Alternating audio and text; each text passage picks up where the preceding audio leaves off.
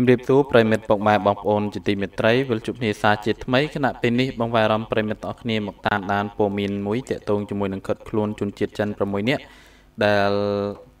ពួកគាត់បានធ្វើបទអក្រិតកម្មគឺចាប់ចម្រិតជនជាតិចិនដូចគ្នាក្នុងក្រុងបរសេនុ ចំណែកព័ត៌មាននេះផងដែរខ្ញុំបានដកស្រង់ចេញពីគេហទំព័រខ្មែរ Breaking News បងវាអារម្មណ៍ប្រិមិត្តទាំងអស់គ្នាមកតាមដានលម្អិតតកតងជាមួយនឹងព័ត៌មាននេះជាមួយនឹងខ្ញុំបាទក្រុងបរសេនុកំពុងកាយឡាយប្រឆាំងបទល្មើសប្រមទ័ននៃកងរាជវុធហត្ថខេត្តបរសេនុបានបង្ក្រាបនិងឃាត់ខ្លួនជនជាតិចិនចំនួន6នាក់ពាក់ព័ន្ធនឹងករណីចាប់ចម្រិតជនជាតិចិនដូចគ្នាការចុះបង្ក្រាបនេះបានធ្វើឡើងកាលពីវេលាម៉ោង12:45នាទីថ្ងៃទី30ខែកញ្ញាឆ្នាំ2019ស្ថិតនៅក្នុងចំណុចបូរីសុកសានក្រម14ភូមិ5សង្កាត់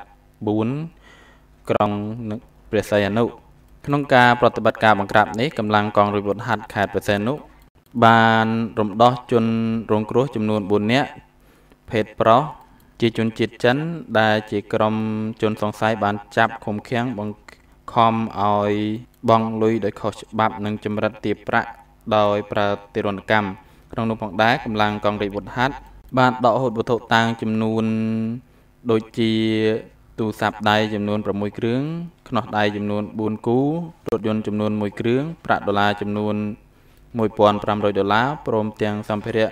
មួយចំនួនទៀតបច្ចុប្បន្នជនសង្ស័យទាំង6នាក់រួមនឹងវត្ថុតាងត្រូវបានកម្លាំងកងរាជវុធហត្ថខេត្ត កំពុងតែចាត់ការតាមនីតិវិធីច្បាប់ចំណែកព័ត៌មាននេះឈានដល់ទីបញ្ចប់ហើយបងវ៉ែអារម្មណ៍ប្រិមិត្តទាំងគ្នាមកតាមដាននៅព័ត៌មានទី2វិញម្ដងខេត្តស្វាយរៀងបរិសុជនជាតិវៀតណាមម្នាក់បានយកកំបិត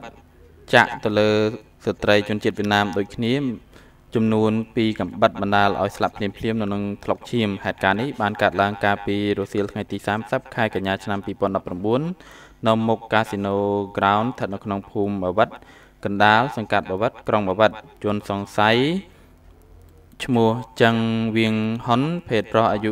29ឆ្នាំជនជាតិវៀតណាមមុខរបរកម្មកររោងចក្រមានទីលំនៅនៅភូមិថាំងឃុំងានភុកស្រុកតាំងគីខេត្តថ្ងៃអាង ចំណែកជនរងគ្រោះឈ្មោះជីនធីធូភីងភេទស្រីអាយុ44ឆ្នាំជនជាតិវៀតណាមមានទីលំនៅនៅភូមិមីធីងឃុំមីធីងស្រុកជោភូ ខេត្តយ៉ាង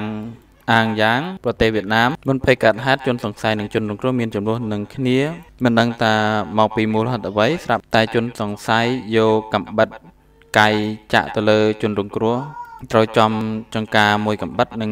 ចំដោះខាងឆ្វេងមួយកំបិតបណ្ដាលឲ្យស្លាប់នៅនឹងកន្លែងកើតហេតុក្រោយពេលកើតហេតុជនសង្ស័យត្រូវបានឃាត់ខ្លួននៅអធិការដ្ឋាននគរបាលស្រុកបាវិតដើម្បីចាត់ការតាមនីតិវិធីច្បាប់ដោយឡែកសពជនរងគ្រោះតម្កល់ទុកក្នុងវត្ត